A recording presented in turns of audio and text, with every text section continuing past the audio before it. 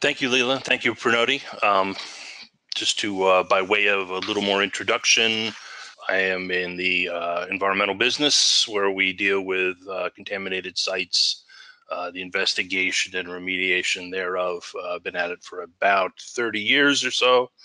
And I'm going to try to give you some perspectives on the differences in, in writing uh, and what we see are, are things that are important start right out with the importance of the of quality writing in the environmental industry. You can do the highest quality work out there.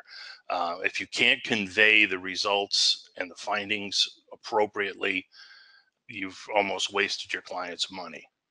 Um, sometimes small, simple errors like spelling errors or use of wrong words can really detract from the overall impression of the work, um, even if it's technically completely correct this is the one I love that in consulting, besides getting the invoice, which can sometimes be uh, tens of thousands of even to hundreds of thousands of dollars, um, our reports are really the only tangible product that our customers get.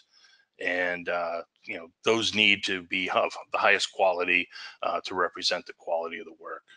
Um, you really don't want either your client or a regulator to have to be searching for the answers uh, to their questions as they read your report. They need to be concise, clear, and and tell the proper story and get the information conveyed. Um, I just want to throw a couple of quick anecdotes here of why these things can be so important, and some of the nitpicky stuff can really come back to haunt you. One of my colleagues was actually disciplined by the regulatory uh, professional agency. Basically, he left out the, the, the words in general during the in the procedural discussion of what they were doing, uh, instead of saying in general the following procedures were used, they just put in the following procedures were used. So procedure A, B, C, D, E, and so on.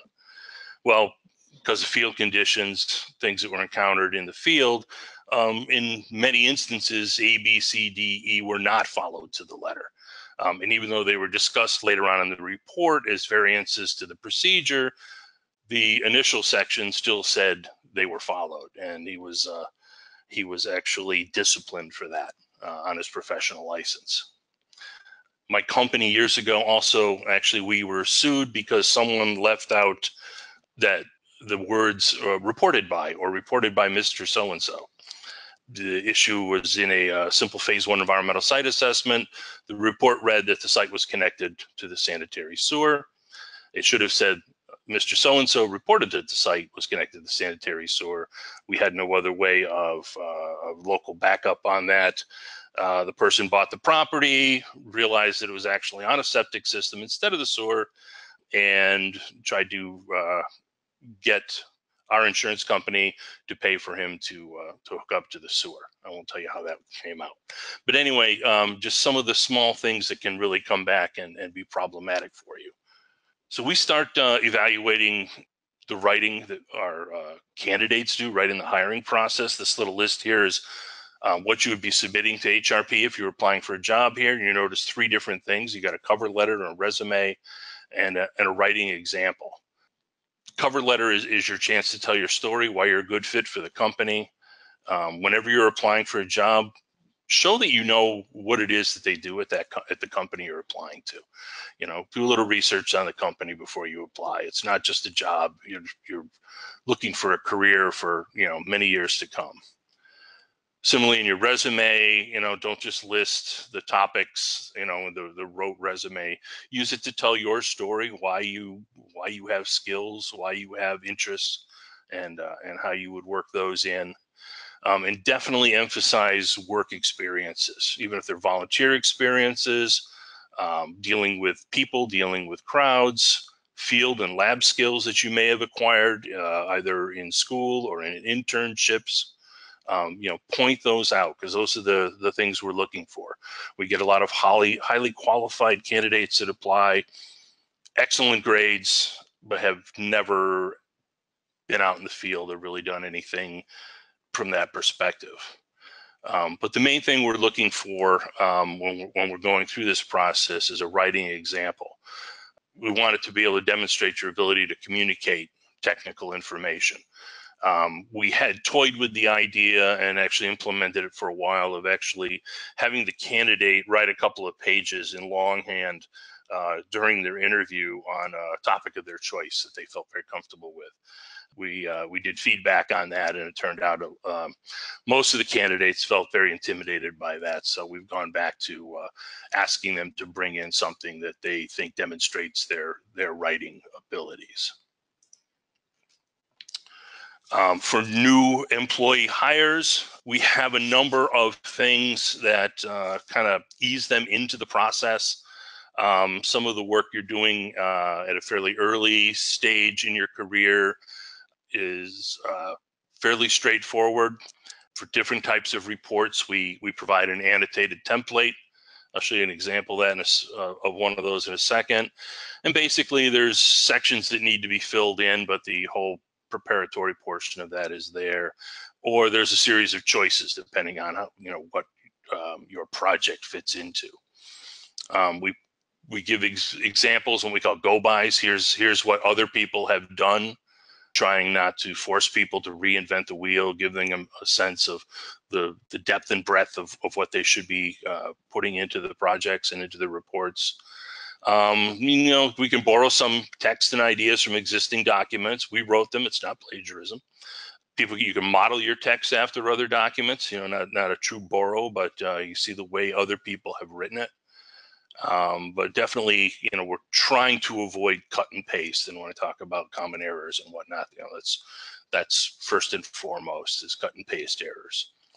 Early on in your career, you're going to be doing a lot of the same kind of projects. You know, you do a lot of phase one and phase two type environmental site assessments. Um, and you're going to be writing those reports up and you're going to repeat those um, until you have the competence um, and confidence uh, what you're doing. You can demonstrate that, and you'll be given progressively uh, more complex projects, both the number that you'll be handing at any given time and the individual complexity of, each one.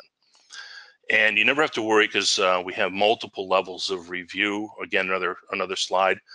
But uh, going back on on levels of review, uh, I was talking uh, in preparation for this this webinar with uh, our future CEO, and he said, he says, you know, I remember the first report I wrote when I got to HRP, and I sat down in the office with Mr. So and So, I won't give his name, and I looked down, and he had corrected my report, which was on paper in red ink, and he looked at me and said, you know, Bob, it looked like the page was bleeding. We do that. We're uh, kind of brutal at times in the uh, in the review process, but there are reasons for that. Um, this is kind of a, just a quick example of uh, a template. Um, this is out of uh, our standard uh, HRP Phase 1 Environmental Site Assessment Report section regarding previous environmental investigations. So if there aren't any, none are made available, none are turned up by uh, file reviews and whatnot, there's a, there's a statement right there. None were found, boom, all done. Uh, or if if there were some found, then you know you've got an introductory paragraph reference to the proper appendix. Uh, we'll talk about that as well. Um, and then you put the summary of, of what you found following that. Um, early on in, in the, uh, the career in environmental professional, you're going to do a lot of field work. You got to know how we collect the data, what, what the processes and operations are out there.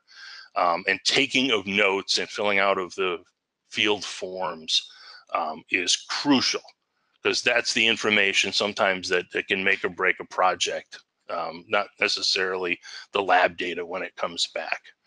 So you want to be in your field note taking complete, concise, record everything. You know, it, it doesn't hurt to write down everything that happens chronologically through the day, any observations, people, the vehicles that go in and out of the project, just to keep track of things. You never know when that material will come in handy. You got to make it a habit to always have a field book with you, even when you're not expecting to take notes. Can't stress this next one enough. You've got to figure out how to write legibly. I've pulled up field notes and I have no idea what they're trying to say. I don't know if that's a five or an S. Um, so you know we've got to be able to to communicate that. It's a good idea, you know, even when you're doing this, to review your notes yourself during the day. Make sure that you can still uh, understand what it is you wrote down. If not, rewrite them. Can't say enough about uh, you know taking proper field sketches, drawing things out to you know not necessarily to perfect scale, but uh, you know making sure you have accurate representations. And we've always made this point. This is act like your notes are going to be presented as evidence in court because they very might well be someday. And uh, I've had my field books uh, held up to me and uh, questioned during depositions. Um, and luckily, I've been a pretty good note taker over the years, and things have worked out pretty well. A um, couple of quick examples of something out of a field notebook and a form that we use for filling in. Um, this the field notebook. Uh, in fact, both these people have rather poor handwriting.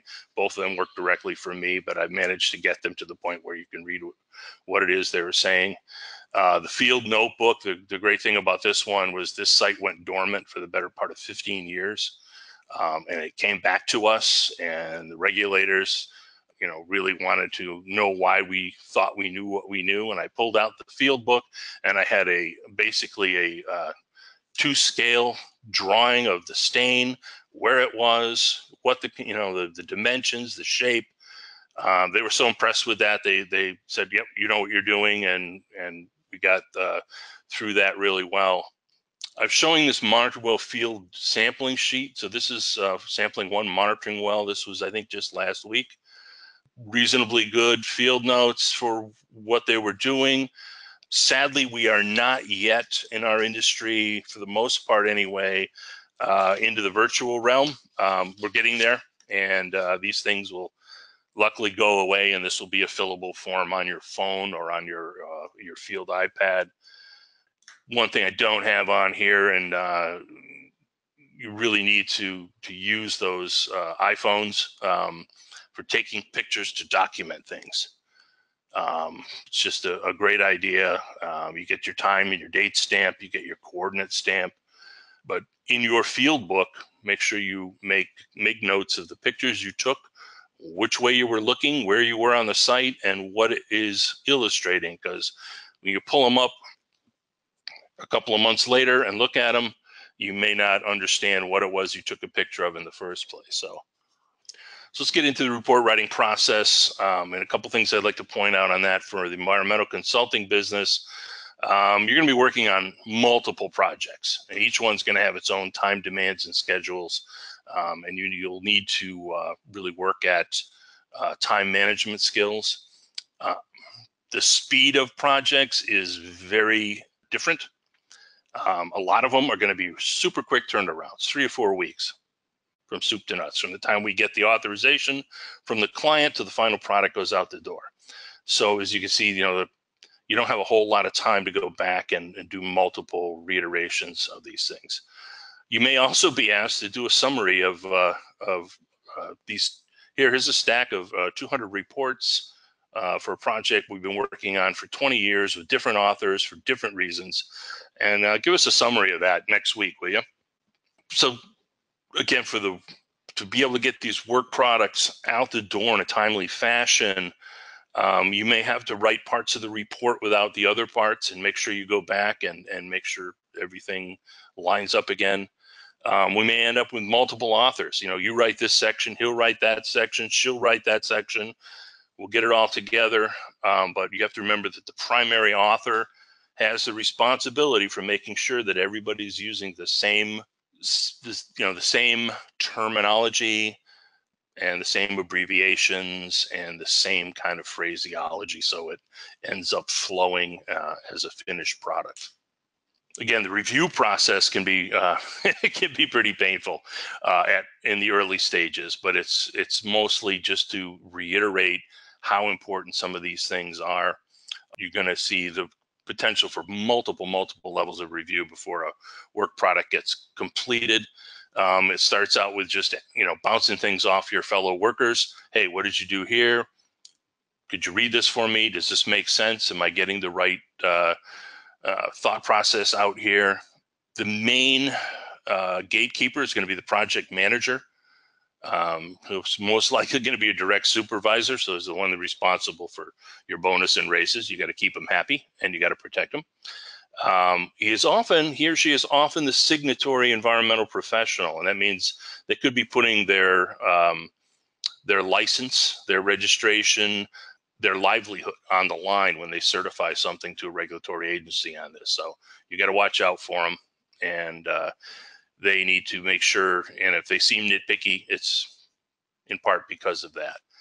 Um, in cases where we have uh, larger long-term clients, um, there may be a client manager. Um, I have a number of those myself. Um, I have one client who will not let us use the word contaminated. No, sir.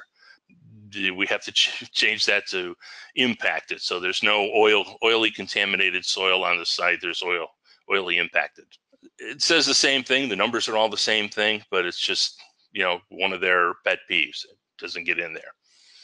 Um, we still have a relic word processing department, and we don't let a final document go out the door unless it's an absolute emergency without it going through our word processing department. And they go in and you know it's another set of eyes. It's just interested from the data itself. They go through and make sure all the formatting has been properly done, that the structure of the report is the way we want it, and it uh, you know is in keeping with uh, the style guide for that type of report. Depending on your client, the client may want to review. If, a, if the client happens to be an attorney, yes, they're going to want to review this before it goes out the door. Um, so you have to be ready and make sure there's time involved for that. And you may actually be writing uh, for a regulator, whether it's a regulator lead site or the regulator is just going to be the end user of the document. Uh, you've got to get it to them and, and maybe they want to have input on it. You have to remember that you're writing for different audiences and readers. Um, sometimes your client is uh, is very experienced. Sometimes it's the first time they've ever dealt with the word environmental. Could be working for lenders and the regulators, again, attorneys, you may write slightly differently if you're working for a buyer or a seller of a property. So the, day, the, the data and the facts all stay the same. Sometimes the presentation varies a little. Everybody reads, comprehends things differently. Um, reports need to be multimedia. Uh, you go through with text, maps, figures, photographs, use tables and charts, use everything at your disposal. Um, I'm, I'm, assuming since we have moved to a virtual office and everything goes out electronically, it won't be long before we're embedding video in our in our project reports. Makes it hard to copy on the uh, copy machine later on. Um, problems. Cut and paste issues are always a problem because you cut something in and it's still got some reference to the other site or um, something that isn't quite right for your project spelling and grammar checks. Um, we all know that the grammar checks are not perfect, but but they help a lot. And you can also add, as you hit them, scientific terms, names of chemical compounds that you're going to be running against into the dictionary on your um, your software. When you're using acronyms, define it once in the document and then use the acronym going forward. I, I continually see people defining it and then putting a parenthetical afterwards and continuing to to do that. Make sure you're you're mindful of of the chronology of of what happened and and report it that way. Please be sure to use compass directions east and north not left and back. To this day when i'm reviewing a report i take the site figure orient it so i know where north is and then double check every direction that comes into me this one's a little more odd, but it has to be paid attention to. You have to remember that certain words have specific meanings under regulation, and you need to use them appropriately and only where they're appropriate. Simple stuff, no excuses. Make sure all the report references are in there. You have internal agreement. If it says this in the text, it has to say the same thing in the table. Don't change terms while you're working in the in the in the document don't don't make the same error again and again. That'll not bode well. Make sure you capture your significant uh, issues in both the conclusions and if you're doing an executive summary, sometimes that's all that gets looked at. Use bullet lists. and reference any documentation and reported information. Like I said before, um, you know, who told you that? Make sure that's that's captured in your reports. Um, some of the other types of writing that you'll get involved with as time goes by, uh, more in the marketing end of things with um, requests for qualifications or proposals. You'll be writing the uh, understanding and the scope of work. You might get involved in, in working on your company's website, social media presence. Obviously, there's a different uh, ethic in writing there. Um, we do, on occasion, have to produce uh, bilingual or multilingual uh, documents for specific neighborhoods that we're working in. Um, and then anything's going as a legal notice or a communication to a third party who's not involved. Um, there's some special considerations there. I'm, I'm not even going to go into email, so we, we should all know about that. That you know, basically, these aren't the things that you're sending to your friends. Be complete. Again, your emails are discoverable if you're uh, going to court. So don't write anything in there that you wouldn't be willing to state and defend in a courtroom. Uh, we have a process of constant improvement. You can use your managers and staff, peer reading. We've actually occasionally brought in instructors to, to do writing issues um, with our staff. Um, not a bad idea to take a writing class or class feel in your field um, that has significant writing component. I think some of the best things that I took um, my master's program were, were for writing were actually uh, business environmental law classes. Um, slightly in the field, slightly out of the field with a large writing component. Uh, if you are still in school, highly recommend a senior thesis. If you're an undergrad, obviously, if you're a grad, you're doing a thesis or a project.